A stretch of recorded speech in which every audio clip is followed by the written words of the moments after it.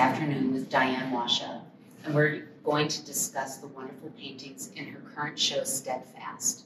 I want to thank the live audience that's here because there's a little winter storm happening, and you were all brave for coming here.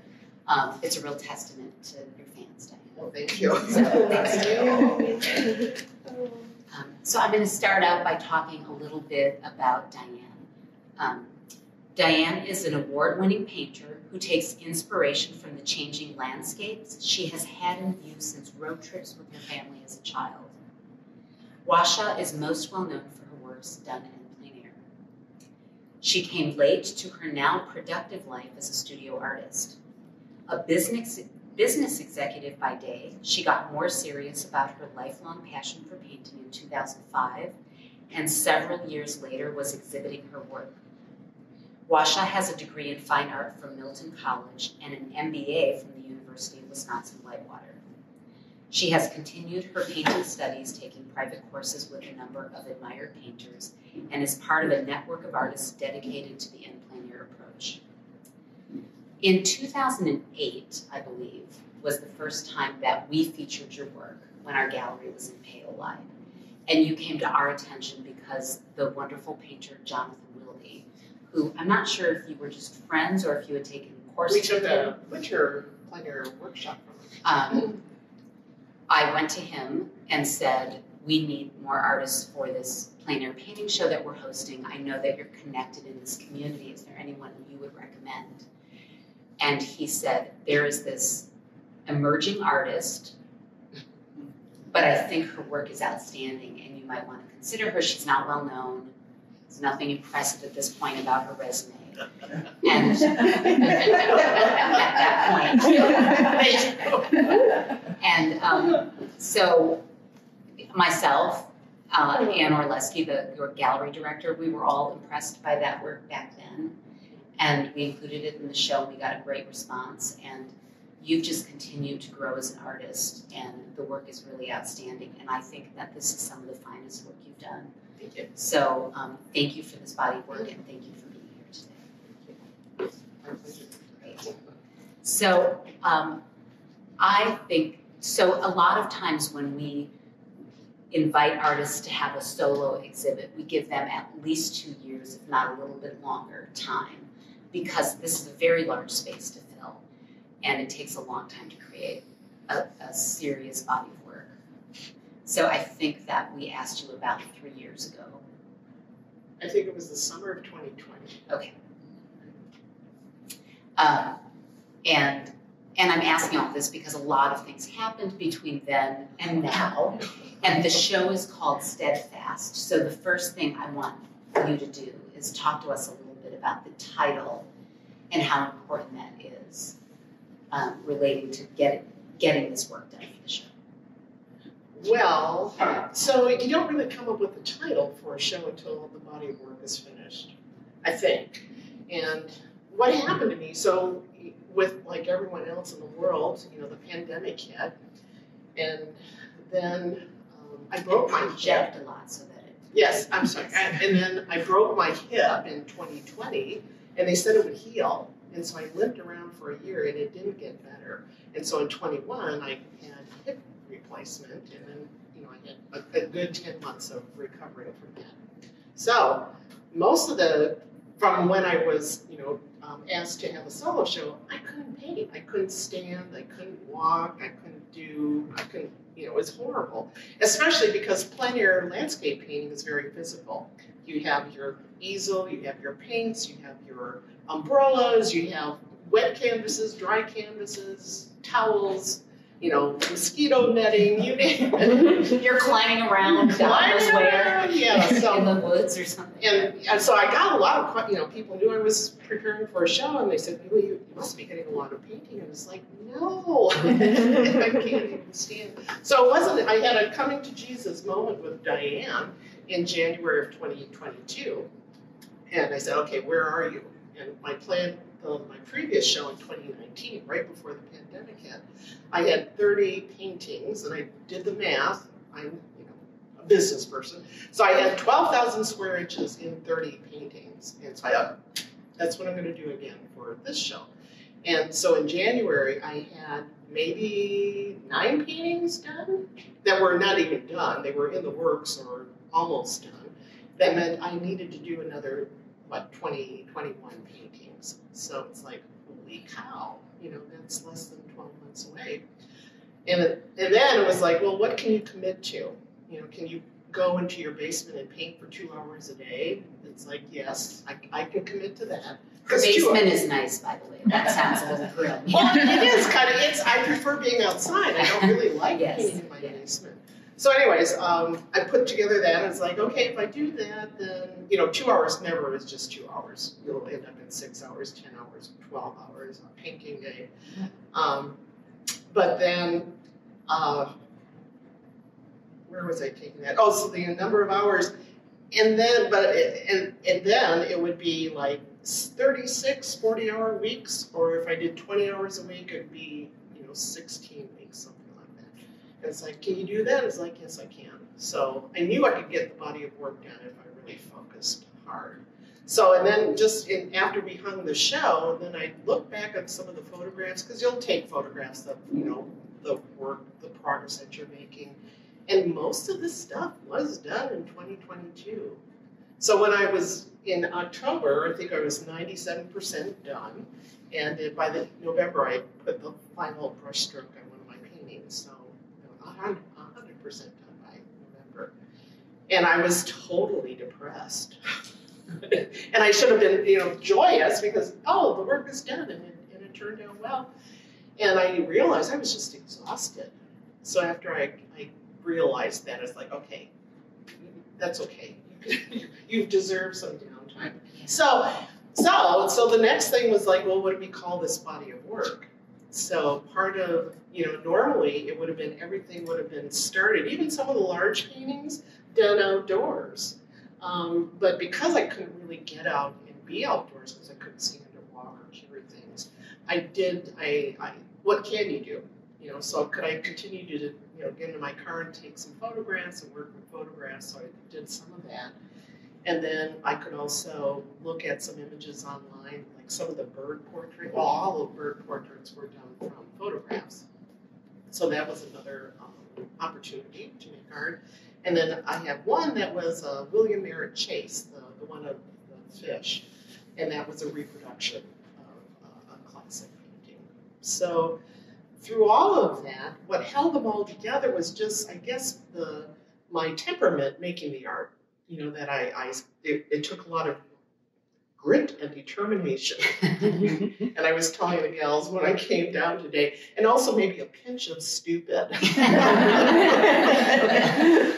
that's the theme behind Steadfast. like driving here today. in Yeah. Great determination. that and was pinch of yeah. Thank you. stupid. Yes. So that was a long answer to a short No, but it's important, and I think about so because you know you had to modify the way that you paint Right. to accomplish this, Right. which takes a lot. So you found new ways to work. So you know, um, are there things that you had learned to employ in your painting practice in the past few years? I know some of it was taking photo references from a car from a place that you couldn't walk to or set up your easel Right. because you weren't mobile. Now you're more mobile again. Oh yeah. So, um, are there things that you learned in the past few years that you think you'll continue to keep in your practice that surprises you or not? Or do you not know yet because You know, I really haven't had a chance to? Yeah, I really You're still recovering from this body. True, true. I don't. I think part of I, I like to think that even though some of these paintings were taken from photo references, that they still embody a freshness or like you were on site making or in the field. I'd like to say painting.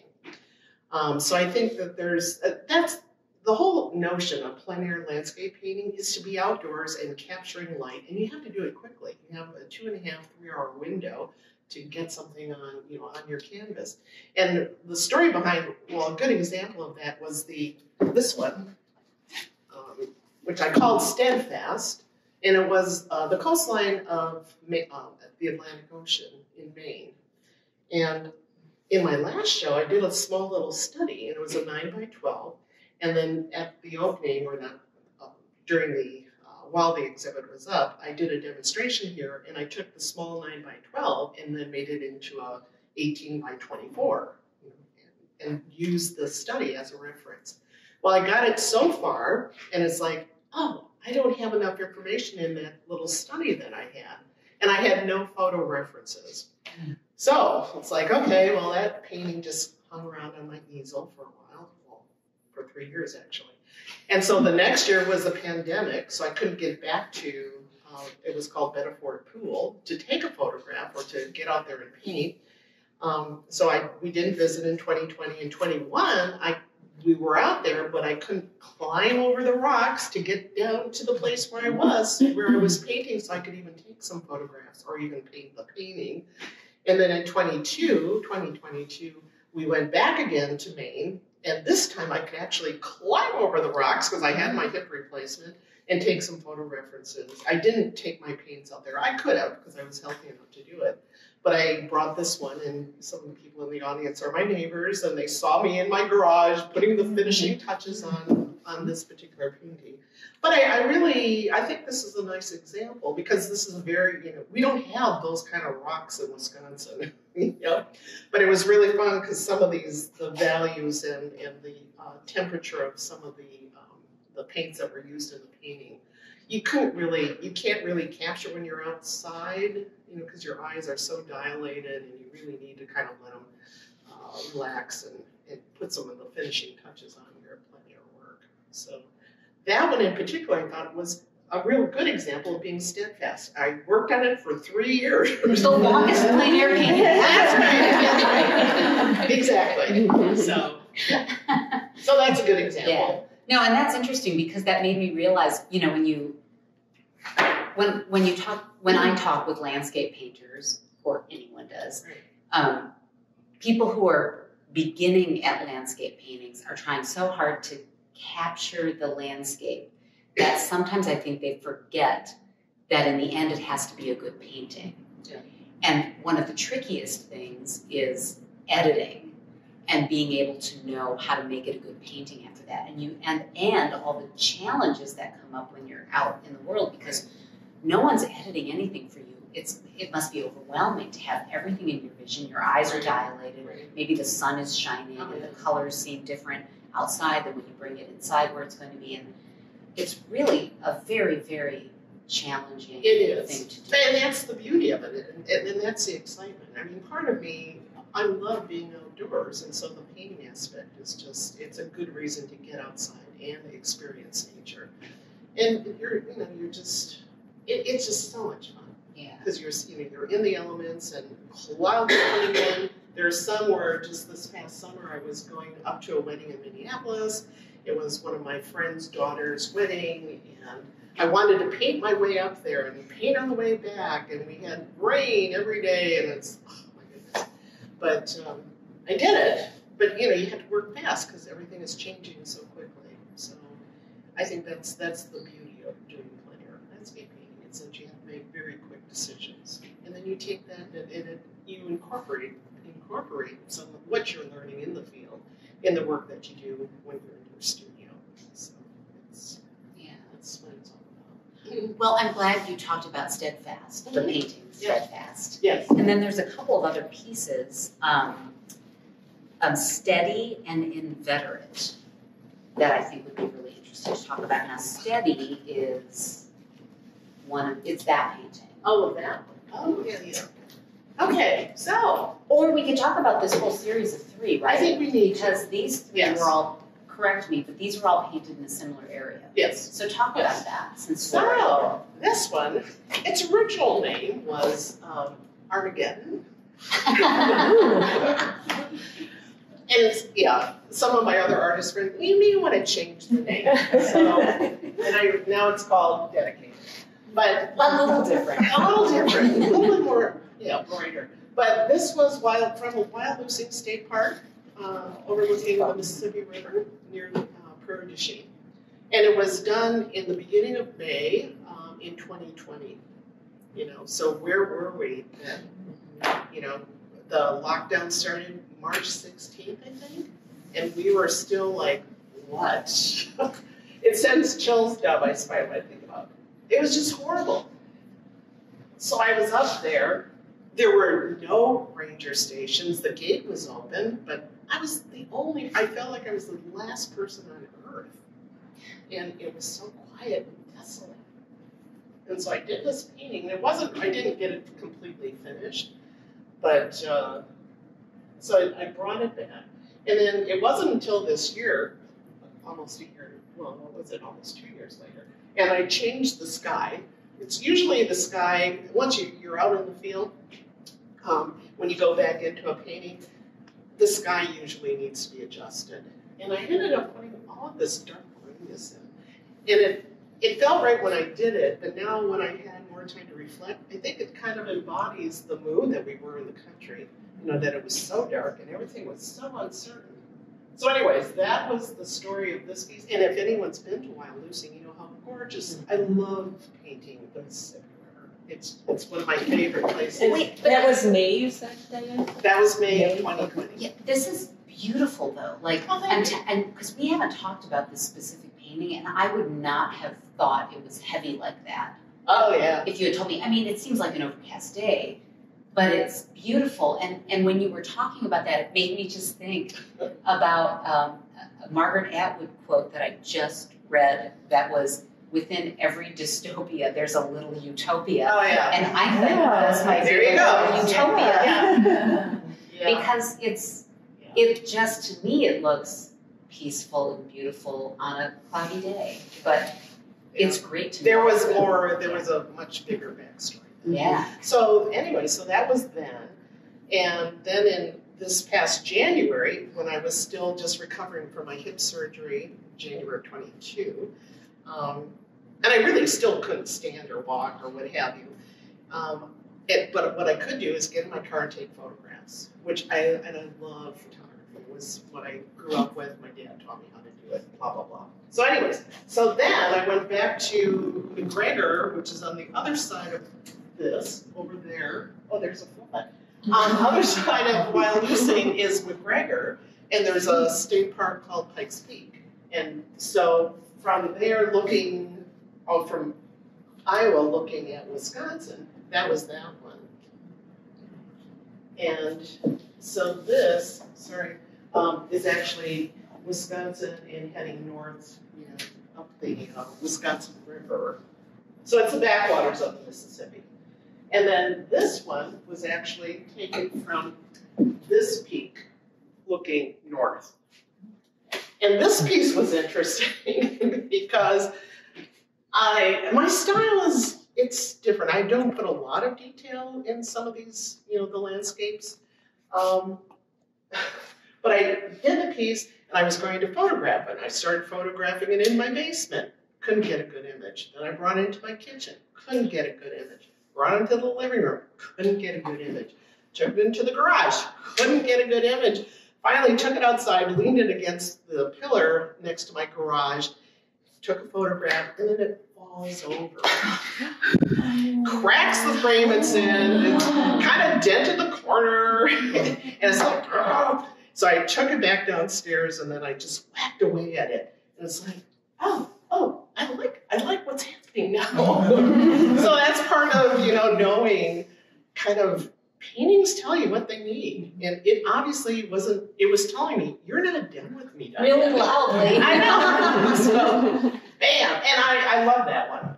So If only was- all paintings would just fall off the wall and we needed to work on them. I Yeah. Well, yeah, and that leads to another topic that we didn't really discuss is that paintings. I oftentimes people ask me, when do you know a painting's finished? You know, and, one of our instructors, Diane Rath, used to say, well, they they talk, they tell you what they need, and so paintings tell you what they need. So when I had all of this body of work all in my hung in my basement, it was I didn't realize how noisy it was downstairs. Seriously. And then once I removed all the paintings to the gallery, the silence in my basement was incredible. It's weird.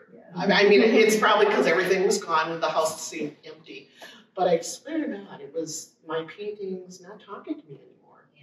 So it was really interesting. So they tell you what they need, and and being okay with that. you know, being open to that, I think is part of the artistic process. So you talked about so the, the painting steadfast. Mhm. There was a study done. Right. Do you often do studies first and then move up to the to another if you're doing a larger piece, especially? You know, is I there, haven't any, is there a lot of anything that. about your process and how you started painting that right. would be interesting or novel to what anyone else does? No. No. I mean, the whole purpose is to, you know, learn about light and color and values and design and everything else when you're out in the field, Yeah. and then taking bringing that knowledge back into your studio. So I'd like to do more work with my to repeat some of that work. You know, when I do a small study, then bring it in and then make it bigger. So, Yeah. Is it, do you often um, like a subject matter and then decide to paint it again? yes, yeah, I, I think so. I think what I noticed too, um, you know, I've been painting now since 2006 in earnest. Yeah. So, you know, do the math, quite a while. And it's not that I'm tired of Wisconsin, but it's awfully green, you know, when the weather is nice. And so that's part, and a lot of, you know, the, we don't have a lot of upright plains. Or, yeah, we don't have a lot of upright plains, like when you're out, in, you know, in the mountains and you can see all these beautiful vistas. Well, a lot of our vistas are, you know, here and looking down. And so that's kind of what I was doing, looking at the vistas of the Mississippi River, looking down at things, and, and I, I really like that. So I, I see myself doing more of that kind of work, you know, Yeah. taking either painting those kind of images. And the other challenge with painting plein air is you can't, there's some beautiful places to paint, but there's no place to pull over and paint. Mm.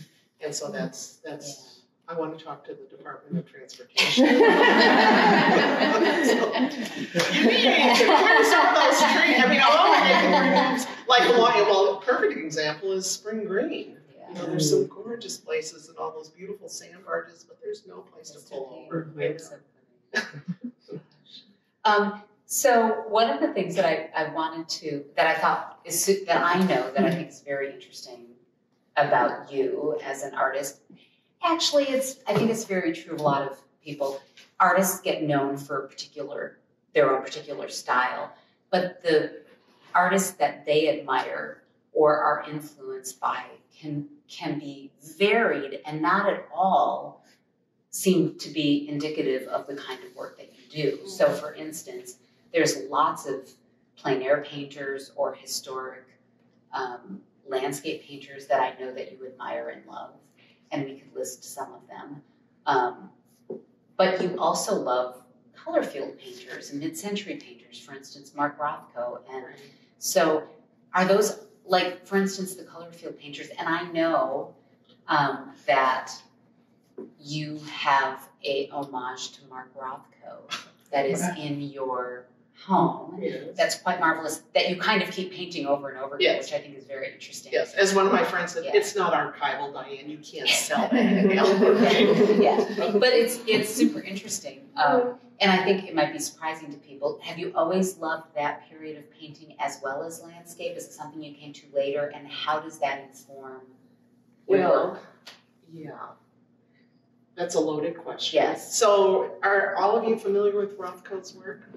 You know, just color fields, blobs of color. A lot of people would go, anybody could do that. And I'd say, try it. Mm-hmm. It's, it's very difficult because he uses layers and layers of just color. You just it's it's amazing. And they're just blocks of color. But my word, I can sit in front of those and the ones that I've reproduced and just sit there and look at them. It's fascinating. And I, I have I don't know what that's all about. Yeah. Other than I can get lost in looking at some. Um, so so that there's that piece. Part of what I you know, I retired right before the pandemic hit, I decided to retire. And part of my plan was, and I had this show coming up, and I thought I was going to be experimenting and doing all sorts of, you know, take my art to a, a whole new level. And it was going to be more abstract. I did. I did. I'm totally in love with these pieces. But I thought I was going to even get more abstract, more, you know, but what does what does that mean to me? You know, because I do I love doing representational work, but I also love abstraction. So I, am I'm and right now I'm in that kind of in between stage where it wasn't until all of this when all of this was done, I called Teresa and said, "When can I deliver the work?" And I'm sitting around just looking at the artwork, and it's like, oh, okay, I, I kind of see where I could, take this to a different level. I can't articulate that yet, but it, it may it may look a little not look, but you know, some of the images that Georgia O'Keeffe does where I was at her home in Abiquiu, and out of her bedroom window is this road going off to uh, Santa Fe or Taos, wherever the hell she lived, Santa Fe. And it's like, oh, and she had this beautiful painting that you could see that was the road, that was her inspiration. So I see that maybe some of that might be going on with me, that I, I have some of these vistas or I'm looking down, but how do I make those into um, Yeah. more abstract images? So I don't know where that's going, but I, I need time to practice and, and make some, a lot of mistakes. But I do think like the like Mark Rothko's work, there's lots of thin layers and veils of color where there's where it's about where the edges of the color meet. And that that does happen in the atmosphere in your landscapes. Right, right. Um, where you could just sort of zoom in to any one of those areas and get lost as a viewer in the area where your colors meet, Yeah. which is quite marvelous. Yeah. And that's, you know, the, the wonderful thing about making art is you really don't, you have to be open to all the possibilities and just kind of listen to your, and I'm, a, I'm an emotional painter. You know, there's, we went to a wonderful workshop in September, and in October I was at a plein air event in Dubuque, Iowa. And with tons of artists, right? And everyone's talking about color temperature and this, that, and the other thing, and just these kind of very technical conversations. And I made the comment that, you know, if I heard one more person talk about color value, temperatures, blah, blah, blah, my head was going to explode. I had it. Because, you know, when you're, it's like the game of golf. When you're on the course, you just have to hit the ball, you know, and, and be participate in the game and just hit the ball. And when you're painting, you, I don't, I can't think of all that stuff. You know, I'm just in the moment. I'm, I, you, I've learned enough.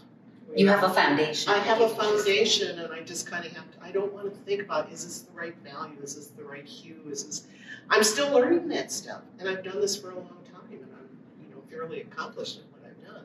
But to make that you know the head and the hand and the heart all kind of sync together, it's a lot. And so just the this conversation of color temperature is just like We're not going to touch it at all. thank you.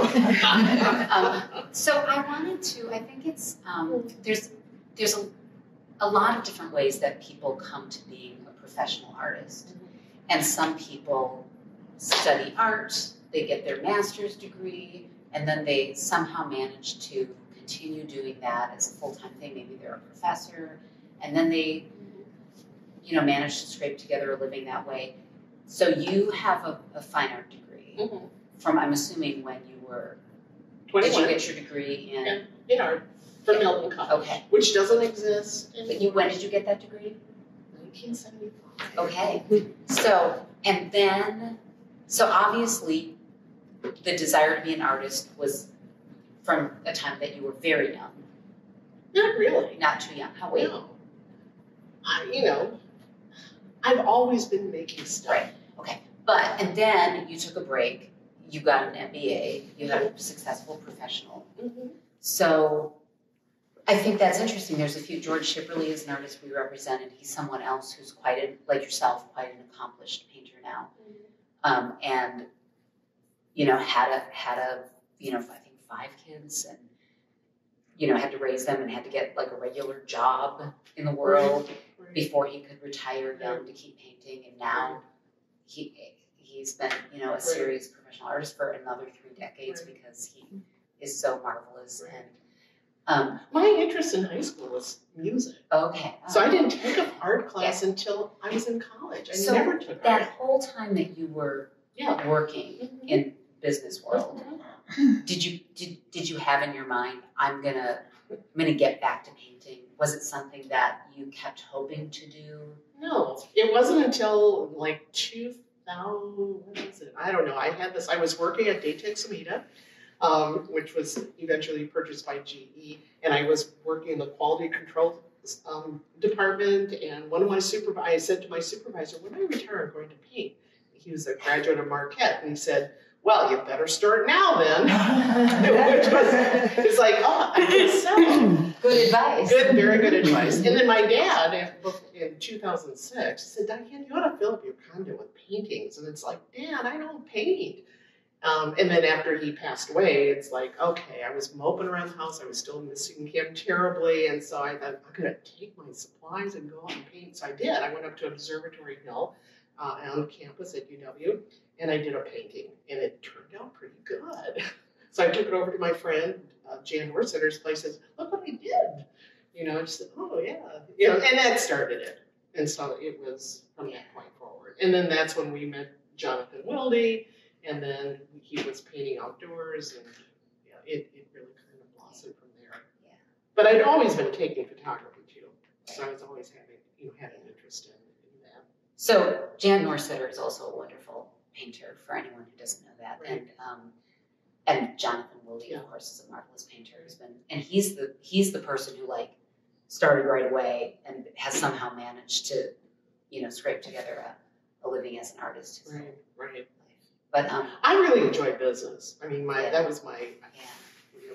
You know, I can tell one- because you come to the gallery with spreadsheets and charts and. Oh yeah, well, Yes. you know, Yeah. in January where I did all the stats, and like thirty percent of my paintings were done. I had seventy percent and I had ten months. So do the math. How many hours? But really, blah, she'll come with like thing and all the price and the thing and the spreadsheet and the sizing and it's all perfectly organized. And then there's someone like Jonathan who comes in with like the back of an envelope and something's like scribbled on it and says something. Well, you know, and so that you, that's a good segue to the what's happening upstairs in number five gallery. Yeah, So you want to talk Yeah, about? so so upstairs in number five is a show called um, Cultural Connections Express Art Express Club, which is a show of children who get together in a group. It was started by Pat Dillon, who is also a painter, and um, it is a pla it's a safe space for kids who have a loved one um, who is incarcerated, um, and they have very specific problems or issues that they deal with. So it's a place that they can get together to feel really comfortable and happy, and then make art, which is great. And then Pat brings in artists in the community, um, from anyone from Triangular, um, who does sort of street art and lots of graphic art in Madison, who's well known to someone like you, and some of the the artists that work with the kids will um, have them study a particular artist and then do work inspired by that. And you chose well, Rothko. yes, Right, right. And it just Yeah. kind of lent itself. So I started volunteering with Pat's group just once a week. yeah. um, last fall, beginning last fall. So they had this show, and they had no idea what having a show was like. I mean, they're one is eleven, the other is just all turned thirteen or are going to be turning thirteen. So it was a really wonderful experience because they had to make the art, then they had to you know sign the art, do that kind of stuff. Then they had to give them titles. Then they had to help like how much can we charge for our work and then they came to the opening, the opening reception on January They were so great, They yeah. were wonderful. It's like, who are these kids? Because when we're in class, you know, it's like cats. It's like um, herding cats. But so then they had to, you know, um, uh, pitch their work, talk, you know, walk people around the gallery and show them what they did, and it was just that full circle. It was really quite impressive to see. So they got the whole big picture because it isn't just about making art; it's all the other stuff that you have to do. Yeah. You know, including interviews like this, and there's there's a lot to the business of art. And don't get me started on that because it's like it's it's contradictory, you know, because art is really, you know, it's it's really in your soul and your gut. It's it's for me, it's emotional. Yeah. it's hard for a lot of artists to, to it's not hard to part with the work always necessarily, but well, that was originally. yeah, was it? Oh yeah. Yeah. Is it hard now for you to part with No, it's it's interesting because I well one I can remember when I first after I got into the emerging arting artist show with you, and then when I after that I remember collecting a bunch of work to take it to the gallery for the first time. I almost threw up. Oh. I was so nervous. It's like, oh, I hope she likes what I'm doing. Um, and at that point, I didn't really want to part with some of my better pieces. But now, you know, as long as I have a picture of it, um, I'm okay with letting it go. And- but there are certain pieces I, I don't want to because there is a connection. Yeah. And don't you feel like, I think there's also a point where you reach a threshold as an artist where you realize that you can make another one, Right, that there'll be another one. right. Um, I think sometimes when you're early on, and you've actually, you've gotten to that place where you make a piece that you really feel like is, that piece is successful and it was so hard won Right, that you are reticent to get rid of it. But once you've done a number of pieces, you know that that is in you and you can do, not that piece again, but Right. another piece, so it's okay. right. Well, and I had a piece, the sunflower one, that was part of the show. That's the old, that's the only old piece here, and it was done in 2010. And, and you loved it. I loved it, and it's like just because it was so fresh, it was so much fun, and it just happens. You know, there are times when you're doing a painting and it just works, and that's just a glorious. It's like, how did that happen? And that was that piece. But it's like, okay, I, I can let go of this one. So, and it's sold. So. So she did. Oh. and I was like, oh, I shouldn't have. But. So, oh wait, so, so was there anything else about working with the kids that, that you wanted to say, like? Oh, it, well, without getting teary, um, it's seeing them, you know, because they have they've been they have so many things that they're dealing with as young children, especially now. I mean, we all struggled with the events of the last three years. It's been horrible. I can't imagine a worse time to be creative. I mean, that was the other thing. Oh, you must be making, you know, no, it was depressing and it was sad and, you know, it was just an awful period of time for us. But anyway, so the kids are dealing with living in the 21st century, but seeing them make art and being in the moment where nothing else matters, it is so cool to see. And then when they do something that they like, it's like, oh, you know, so it just, it, it's been a blast. Yeah. Yeah, I, I really enjoyed it. And they were just so, we had a debriefing after the opening, and we came back here, we were looking at the art and just chatting about, um, you know, their experiences, and they were just thrilled. So you, I, you could just see how much that experience, thank you Yeah. for having, you know, giving them the opportunity to, to do that. So it, it was fun. Yeah, they're great. Um, I guess just a little bit before we open it up to questions, we've been mostly talking about the landscapes, and there are some of my favorite paintings in this show are the ones that are studies of birds. Oh, man. So I know you've done a couple of bird paintings before that we've shown in the gallery, but um, these are just marvelous. Talk about, you know, why of all animals birds? How, how do they? How did you? Well, I think, you know, What can you Jonathan say? Who's been my, our bud, and we've been, you know, working with each other and Jan for forever. Um, he is a falconer, and so he does a lot of bird paintings, and I have a lot of his bird paintings. So Yeah. there is that connection. Yeah, And they're just lovely to paint. yeah. They're beautiful. One of my favorite, though, was I, his name there is Firm, but it, he was, um, his other name was Don't Mess With Me or Don't Ruffle My Feathers. He's got an attitude. And that, some of these, those two images, and then there, there's another, um, the blue heron on the other wall, uh, were images from the Getty, Getty, Getty images. And so, um, that's where those images came from. But ruffled feathers was just so much fun. There's a technique of you just use it's an old master's technique where you take alizarin crimson and Indian yellow and um, olive green, and you have this mush, and it ends up very very sepia toned. And then you just get your medium that's kind of soupy, and you get your canvas full of that stuff, and then you you know you shape you you know, draw the the image that you're you're going to be painting, and then you start removing some of the paint with like a, a towel, and then all it's like developing a, a, a photograph, right, in a dark room, and all of a sudden this little image shows up. So that was the background on him. So that's why you see some of those yellow and sepia tones, and those were natural. Those were his natural colors. But he had just such a presence And then some of the and there were all there was all sorts of other colors in his feathers, but I got to the point on that painting where I thought, you know what, he's done. Yeah, You know, I could add a lot more detail, and again, that's that's another painting. right. You know, part of the challenge of being an artist is knowing when to stop. And some people say, Diane, you should have stopped an hour ago. You came up with a whole new painting. Blah blah blah. Um, but yeah, so that was that was that piece. And then this other piece here, I don't forget the name of that one. It's the, the two hawks. Um, I love Thank you. uncompromised. Thank you. Um, that was also known as siblings or entanglement. I know. It's like, yeah, so they had a lot of other names. All these pieces, by the way, were synonyms for the word steadfast. So that was just an, how do you come up with names for all these pieces? And naming pieces of your art is, is important. But anyways, that piece was done.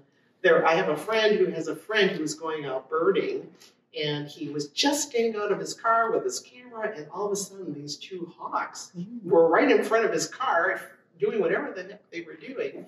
And he took some photographs. And then my friend sent me the image and said, Look at this. And I'm going, Oh, do you think he'd mind if I paint that? And so I got permission from him. And, and so that's where that one came from. Mm.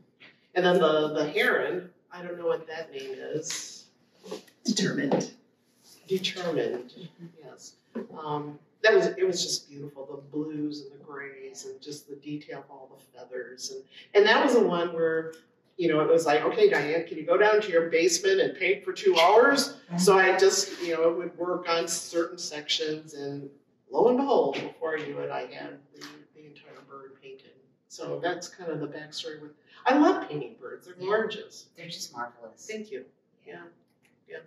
And it's one of those things like, and they have an affinity with the landscapes. Mm-hmm. right um, But you don't have much landscape or only an allusion to it a little bit in some of them. But it's mostly just, it's the bird right coming out of a background. right But that's, it's still, so given that, it's even more interesting how related they feel to the rest of the paintings. I think it's, it's a testament to like, you could probably paint anything. I could right give you a Well, you pile know- of tools and you would paint them and they would be because Right. you have a voice as a painter and Right. that's Well, you know, when you and Anne came over to my house back in the summer, and I had my big Rothko, and I said, "Hey, what if I have, you know, some of these types of paintings?" And because part of the challenge that Teresa has as a gallerist is this is the body of work that Diane is known for. When, Right. but if she comes in with all these color field studies, and people are expecting this, how do you make that transition?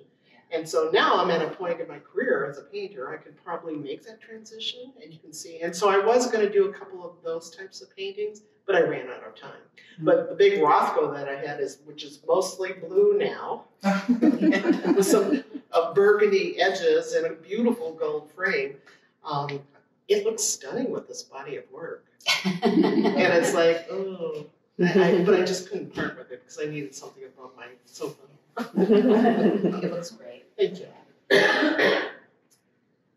Um, should we open it up to questions? Yes. Does anybody have any questions or thoughts or? Yes.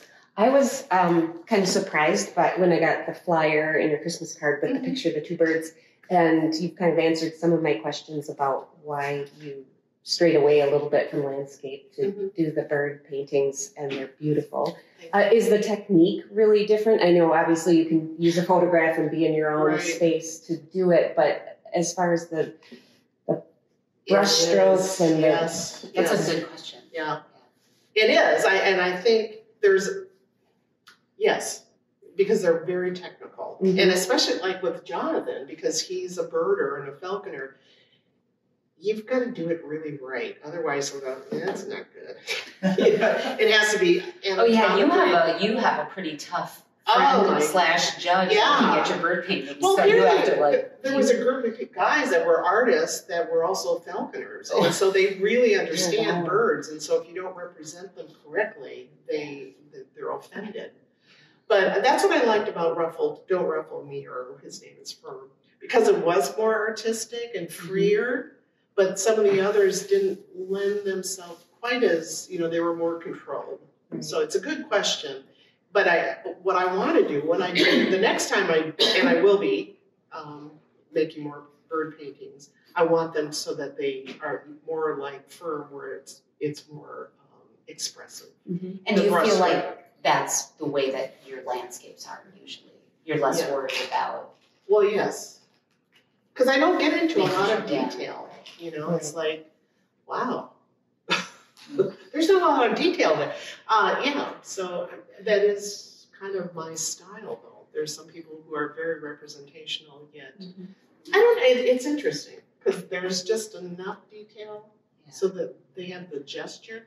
And many people that have admired my work just said it's it's nice because I can fill in the detail. So it kind of leads them into the painting and then they finish it. You're creating a mood, you're Mhm. creating an atmosphere, a sense of the feeling of the place, not right. not a And that's- photographic representation of it Right. in any way. But we don't need that. We have our own eyes. Right. Yeah. Exactly. And I think that's where the, the musician in me comes from. You know, that that is, it's just when you're making music, it's such a, you know, it's in your bones and, and it comes out. And that's kind of what happens when I'm really in the moment when I'm painting. Yeah. Thank you, Kelly. Anyone else have anything? yes. Do you keep your palette the same throughout, or do you change your color palette, or? Ah, good question. Um, I basically keep the palette the same, however, I'm shaking things up right now. Yeah. How so? Well, um, he's not up, but I did one painting. It was it was called Holy Phthalo, and that wasn't really the word. That phthalo was another word. Um, and it's a very phthalo blue is just very intense, and you don't want to get it on you. It's it's just horrible. So I was in this painting workshop up in Madeline Island. We were on the coast, or you know, like on Lake Superior, and it was raining. And all of a sudden, it started to rain, and it's like, oh my God, pick up your painting because you know when it's raining, you can't really be painting outdoors. Um, and so my my my brushes fell into my palette, into my blue phthalo. And I picked them up and placed them over there, and then I forgot that they fell on my phthalo blue. And then I picked them up, and I had blue phthalo all over my hands on the white bench that I was sitting on at the marina. And all my other artist friends were behind me, painting over me, looking at Lake, you know, Lake Superior, and they're laughing, and uh, so yeah. So I'm I'm experimenting with phthalo blue. So is your palette limited, or? Oh, yeah. Okay. Well, you know, the warm and cool reds, warm and cool yellow, and warm Right. uh, cool blues. But and then some of the other earth. Another color that I just discovered is transparent brown oxide, which is really cool, mm-hmm. and it does a really nice job of neutralizing. I don't do a lot of out of the tube kind of paintings. You know, directly. They're always modified. Hmm. Um, I want to know if that bench still has your phthalo blue on it. Yeah. Um, I tried cleaning it up as best as I could, and then I got out of Dodge as quickly as I. I, I didn't want them to see. Yeah, it probably does. Well, if you become really famous, they'll charge people to sit on the bench. So there you go. Yeah, yeah. Yeah. Thank you. Anything else before we? All right. Well, thank you for Thank coming you. out. Um, I want to mention for um, this is being videotaped, so people will be watching it after the fact.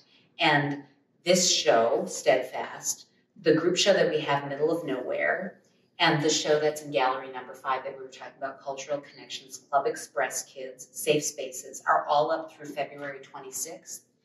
And um, we will be in person having a conversation with Pat Dillon, who is the person um, who works with the kids in Art Express Club. And that conversation will take place on February 4th, which is a Saturday at 2 p.m. On your website? Yes. And this whole show, all the they're great images um, taken by Jim Escalante that are on the website of each of Diane's paintings as well. So thank you, Diane. Thank you, And thank you all for coming. Thank you.